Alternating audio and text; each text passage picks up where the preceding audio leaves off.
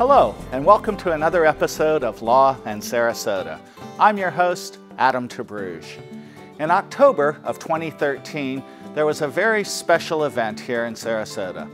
Members of the Sarasota County Bar Association joined with faculty and students from the Booker Law Academy to welcome the president of the Florida Bar, Eugene Pettis, to the campus of Booker High School. We had an opportunity to speak with President Pettis, to hear his remarks, and to talk with other members of the legal community about the importance of this program to Sarasota. Mr. Pettis, welcome back to Sarasota and welcome to Booker High School. What brings you here today? Well, I have the privilege of visiting Booker High School's uh, Law Academy. Uh, I missed the opening ceremony back in August due to schedule, but I'm most excited to uh, see the academy and meet some of the students and look at the energy level that's palpable here on campus for this particular program. This is a very exciting program. We're really happy to have it resurrected here in Sarasota. And one of the issues that we're talking about here today is diversity in the legal profession. Um, could you help explain to our audience why is it that diversity is important? I think diversity is important for a multitude of reasons. First of all, I think we as a society are stronger when everybody's at the table being represented. We each bring different life's experiences, uh, which when you bring that together, you have a better product. Uh, we're a better community when we have everyone represented. Secondly, society is diversifying. We're becoming a more brown country uh, in every demographic indicator.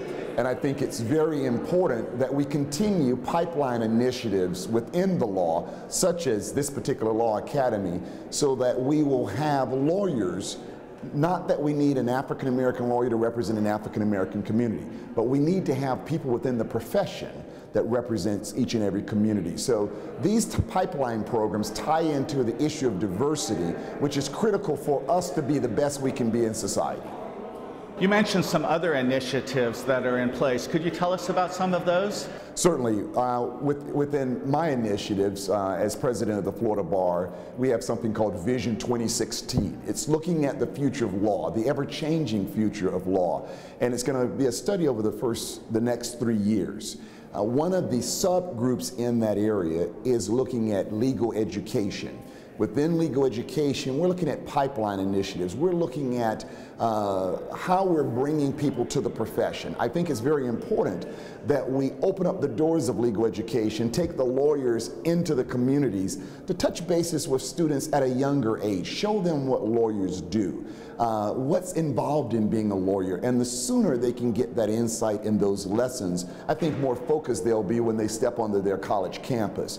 Uh, so we're looking at how we can create better relationships, better pipelines, hopefully to have a positive impact on who's coming to the the field of law. And hopefully we'll have people that are not coming to law because they didn't know what else they wanted to do, but you'll have people coming to the law that are really dedicated in their heart to serve as lawyers in their communities. Mr. Pettis, you're making history yourself as the first African American president of the Florida Bar. Could you tell us a little bit about some of the early influences upon you and what led you into the law? Certainly. It's a uh, long story, and, and, and, I'll make it a little short. I, I, in a way, I think I was put on this earth to do what I'm doing. Uh, my mom told me as early as I can recall, you need to be a lawyer, you talk so much. Uh, I wanted to prove mom wrong, as we often do as kids, and I looked at being a police officer. Uh, I then, my brother was coming out of dental school. I said, I want to be a dentist. And then one day on campus, I said, you know what? I don't like the sciences. I'm not happy. Let me go to law school. Uh, it was where I was supposed to be. Finally, I found my water, uh, and that's where I was supposed to be. So um, I have been influenced by a lot of people, uh, lawyers and servants of the community, many of which I never knew, but I read about them, I learned about them. And the one thing that drew me to the law is that I think it's very important that we don't look to the law just that it's going to take me to riches, uh, which sometimes that's the TV persona that we see, but it's an incredible profession to serve the community. And that's where it was built, that's where the core values rest, and that's what drew me to the law. I've always been one that's community oriented, and I have had that fulfillment through the law, as well as having a great career to provide for my family and all of their needs. I couldn't agree with you more, and I really appreciate your emphasis on community service, and we really appreciate your visit to Booker High School here in Sarasota today. It's a pleasure being here and continue to do the good works on your program that you've been doing for a long time. Erica Quartermain has worked as an assistant state attorney in Sarasota County for many years. She's also a member of the Diversity Committee of the Sarasota County Bar Association. Erica was able to stop by and talk about the efforts of the Diversity Committee with me. Erica, you're a member of the Sarasota County Bar Association's Diversity Committee. Could you tell us a little bit about that committee? Sure. It comprises probably about 12 people who are members of the Sarasota Bar, judges, practicing attorneys in town, and we focus on bringing more diversity to our area and specifically within the bar. Um, the way, the things we've focused on in the past are the diversity scholarship, um, promoting events where we can attract lawyers from different backgrounds. So that's what the diversity committee does. Why is that important and why has that been a focus of the Bar Association? Well, I think, and I think that many people in the bar agree, that diversity is our single biggest problem in this community. And it has been a challenge attracting people from different backgrounds here. Um, the scholarship has been helpful in that we bring um, diverse students to Sarasota for a summer, but the problem is they aren't staying. So um, it's been a challenge, it continues to be a challenge, and you know, we're committed to working on it. We're here today at Booker High School for uh, a program about the Booker High School Law Academy and to hear from the president of the Florida Bar, Eugene Pettis. Um, it's a pretty exciting day. It's a very exciting day, and I think it's um, a huge compliment to have Eugene Pettis come here, but it's well deserved. I think that this is going to be an amazing program and opportunity for students in this school. And while the program is hosted here at Booker High School, my understanding is, is that students from all over Sarasota County will have opportunities to participate in the Law Academy. That's my understanding too. I'm not sure practically how that will pan out. Well, um, I know that President Pettis will be touring the uh, new courtroom that was built here at Booker High School, and uh, that we've got over 100 members of the Bar Association who will be here for his visit today. Yeah, it's a big deal. It's a really big deal, and um, I think this is going to be one of the first opportunities that we're going to be able to keep these students who are homegrown who come from different backgrounds, expose them to law early, and bring them up to um, contributing um, members of the legal community. And I'm really excited about it. Well, thank you for being here, and thanks for your work on the Diversity Committee. Joining President Pettis on his tour of the Booker High School campus was Arnell Bryant Willis, who is the Diversity Initiative Manager for the Florida Bar. Welcome to Booker High School. Um, could you tell me what your job is with the Florida Bar? Well, my official job title is Diversity Initiatives Manager for the Florida Bar. And what does that mean? That means that the Florida Bar is committed to inclusion. We don't necessarily talk just about diversity at the bar because we want everyone to feel totally included. I'm the first diversity initiatives manager or a person who's been hired for the bar specifically to handle that particular role or this role. And it's uh, a challenging, exciting, difficult, and wonderful opportunity for me. What are some of the visits and projects that you've been experiencing since you took the job? Well, I must talk about the Sarasota projects. The Sarasota projects are above all of the projects that we funded. We have a program that we uh, call the Leadership Grants. And Sarasota has received two leadership grants thus far. And they have both been outstanding. They've uh, only received $1,500 per grant. Uh, and so we don't fund the project completely. We just give a portion of funding for the projects. But the projects here have been above, above the cuff. Why do you say that? What, what really impressed you with what you saw? They're totally involved. It's not um, programs that have meals necessarily. Oftentimes, diversity programs have a keynote speaker and a luncheon. In Sarasota, Sarasota involves the total community. They look at a particular area, they focus on a particular area of the law, and then they bring the total community in, and it's, it's just total participation from all sectors. Well, thank you so much for the Florida Bar's support of what we're doing here in Sarasota, and thank you for being here at Booker High School today. Thank you. Students from the Law Academy had the opportunity to hear remarks from President Pettis. As you will see, he stressed the importance of community service over financial gain for these budding attorneys.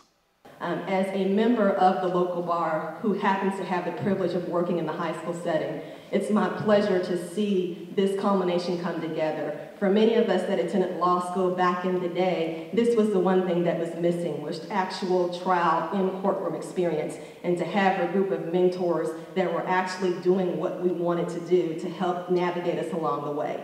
Mentors was important and practical experience was important. And to have that here in a four-year curriculum program in the best high school in the county, I will say. Yeah. We are honored to have that privilege and distinction.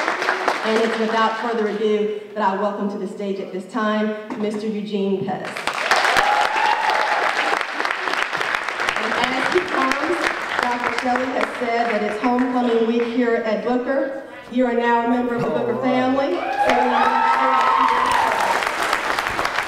Thank you, Shelley.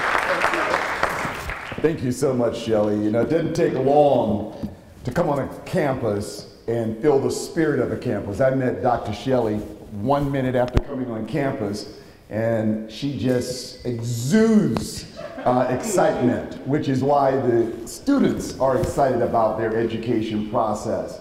And to see the community uh, surrounding this program is even more reason why there is no doubt uh, this is going to be an incredible, an incredible experience. So this is a great opportunity, but you need to recognize the opportunity and to make sure that you're studying, you're, you're, you're picking the brains and the minds of the people that are coming before you, asking questions, being inquisitive about uh, uh, what you're looking at. But know that if you commit yourself to whatever that dream is, and we all have dreams. How many people have dreams out there of what you want to do? We all have dreams. And you know what the difference? One of the things that I was always, always able to do is I always have a five year plan. I'm always looking to be where am I going? I don't forget today, I don't lose enjoying the current moment, but it's very important strategically that you don't just wander through life. You know where you're going, you study what it's going to take to get there, and you be willing to commit to it. Because there's nothing worthwhile that comes to you easy. So if you are one, and that's one of the things that I always, I think is one of the greatest attributes that I have, I'm willing to work hard. I'm not the quickest guy, I'm not the fastest reader, but I'm gonna work, I'm gonna work, and I'm gonna work. And it's always served me well towards success. You have other people that have all the skills in the world, but are not willing to work. They want to take the shortcut. Don't be one of those people. Don't be one of those people. Whatever that dream is, post it on your wall. Think about it. Think about study. Now we have the internet. You don't even have to go to library. Study what it's going to take. Find some people within your communities that are doing what you are interested in and, and, and reach out to them. This is a great community of mentorship a great community uh, uh, over here in Sarasota. So reach out to them and study what it is you're interested in and find out what it's going to take to accomplish it. Yours, but understand that success doesn't mean you're going to you're going to hit the home run the first time. You know, some people swing at it, and if I strike out, okay, guess it wasn't meant to be. You got to get up, dust yourself off, and do it again and again until you are successful with your goal and never, ever, ever sell yourself short. What do I mean by that? We're in a generation where everybody wants society times where everybody wants something quick. If it's not quick, if I can't get it now, I don't want to work on it. Understand that things worthwhile takes a commitment. And you must be willing to stay focused for the long haul. I have had a great career, a career beyond anything that I could have imagined. But one of the things that's important is that I want you, each of you, to commit now that not only are you going to focus on your dreams, but you're going to see how you can lift some other people up along the way, your community up, make a difference in your community. Stay committed, stay focused. And if I did it, I assure you, you can succeed. Thank you so much for the time, and I wish you well in the game this week. Thank you. Thank you.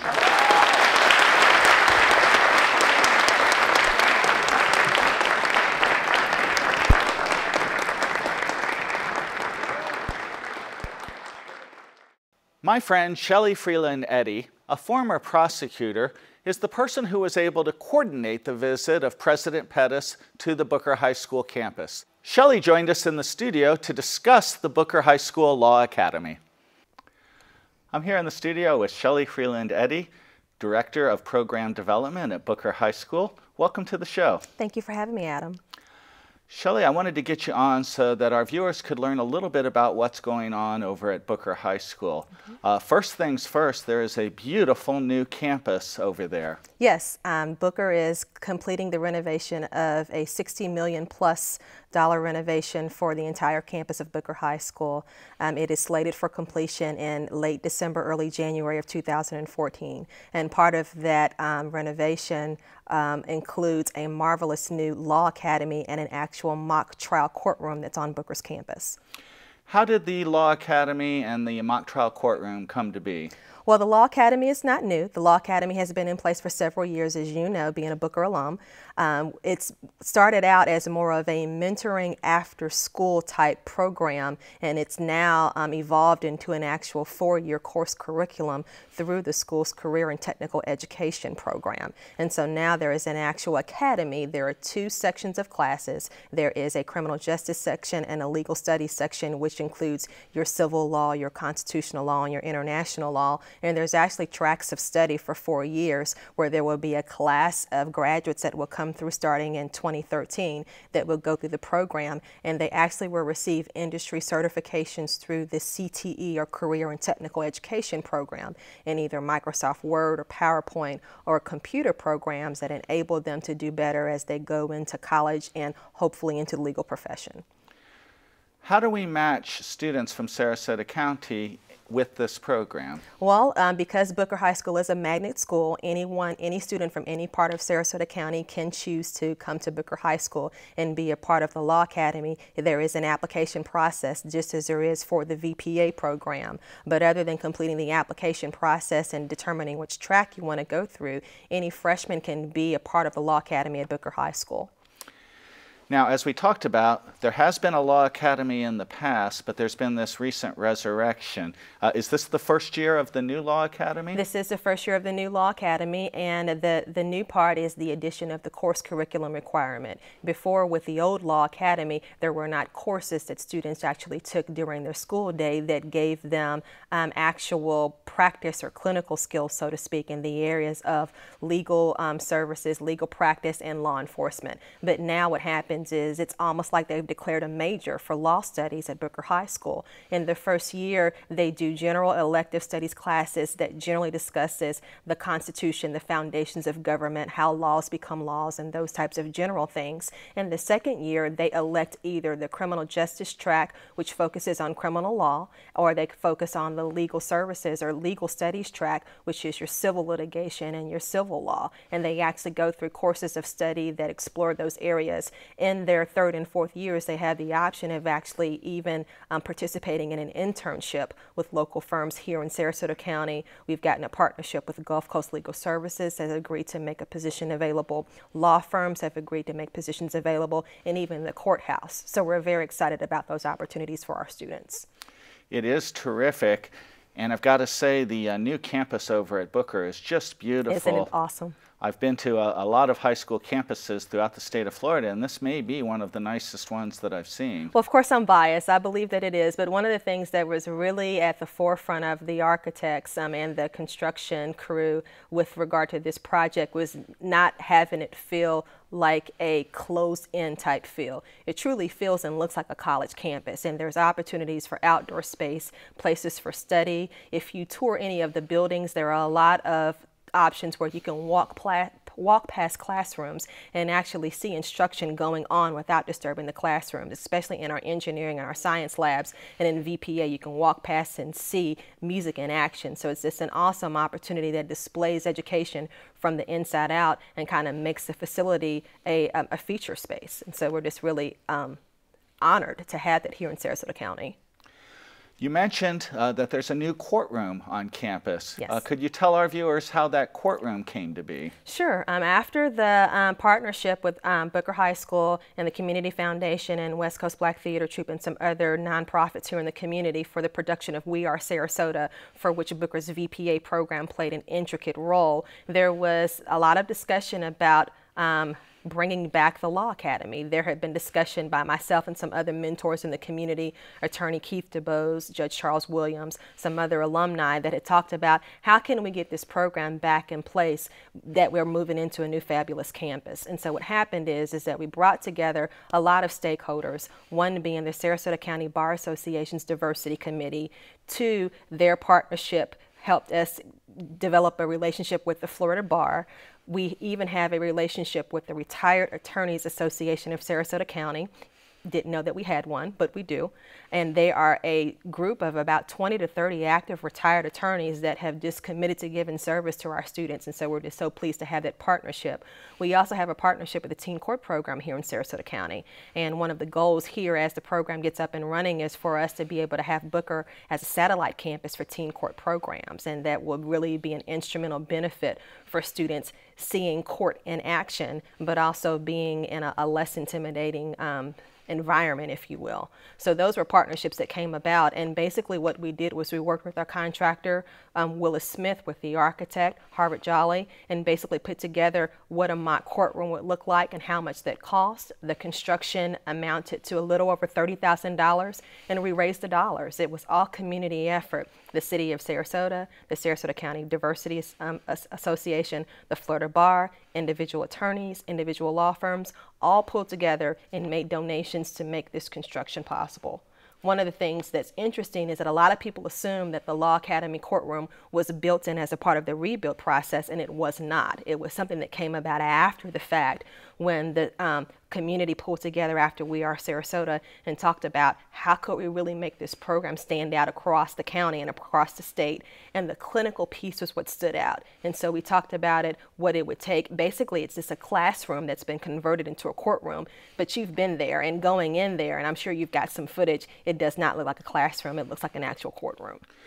And when you're training students in the law, I really think it's valuable to have that courtroom environment. It just puts you in the right mood Absolutely. to practice law. Right. And I think it's going to be helpful as we try to develop the skills of these students going forward. Absolutely. As you and I know, when we were preparing cases and getting ready for trial, we do a dry run. We go into the courtroom, we have our clients sit in their respective places, we explain to them what the makeup of the courtroom is going to be, where the jury is going to be sitting, where the attorney is going to be sitting, that it's open for the public who can be in the gallery, where you'll stand up and raise your hand to swear and tell the truth. Um, even we test our uh, technology. We make sure the laptop is connected. We make sure that the projection screen is working. We stand in front of the podium. We test our inflection and our tone and our voice to make sure that we're giving the best presentation because as you know, you just get one shot at it. You don't get a do-over in the courtroom. So.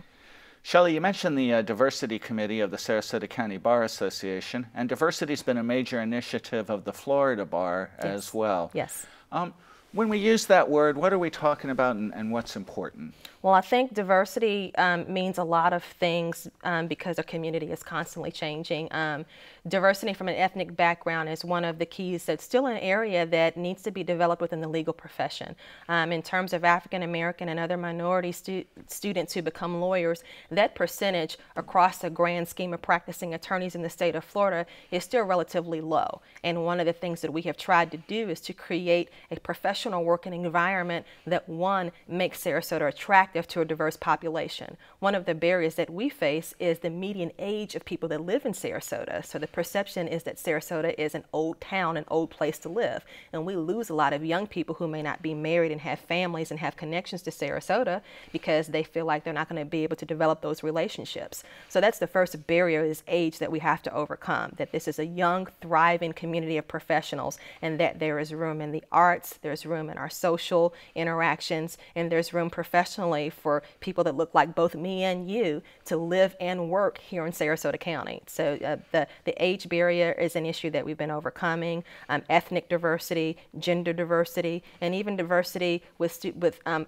attorneys who may have mobility issues and being able to practice and to get around in Sarasota County. So those are some of the things that um, has been a part of the initiative from the Florida Bar Down, and that was one of the things that Mr. Pettis talked about when he came to Booker High School.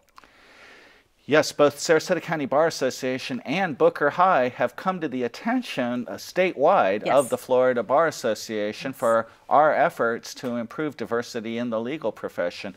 Uh, tell us a little bit about how you were able to get Mr. Pettis to come to campus. Well, um, one of the things that we thought about was that when Mr. Pettis was sworn in as the um, first African American to be elected as the president of the Florida Bar last year, we knew that we were in the pipeline for having the new Booker. It wasn't until later that we determined that that new Booker would also include an actual courtroom on campus. Once we determined that we were one of the very few high schools across the state that had a um, courtroom on its campus, we thought that being a first, it would be important to reach out to another first to have him come. And so we invited him to come to participate in our grand opening, and because of his schedule, he wasn't able to come back in August, but he'd worked with our campus and worked with me personally to be able to come and tour the facility um, back at the end of October. And so when he came, he was impressed not only with the caliber of students that are members of the program, but for the collaboration of the community and all the different stakeholders that were present law enforcement, elected officials, school board officials, practicing attorneys, corporate America. We had the whole mix in terms of commitment, and that was something that he stressed that would be important for moving our lawyers to the next level. So one of the things that he said, which we were so pleased about, is that he wants to include our model in the pipeline initiative that he's working in his Vision 2016, which includes creating a diverse legal population and also educating students at an early age about the practice of law. And we're doing that at Booker High School. Well, Shelley, thank you very much for your work over at Booker High School, and, and thanks for bringing President Pettis to campus.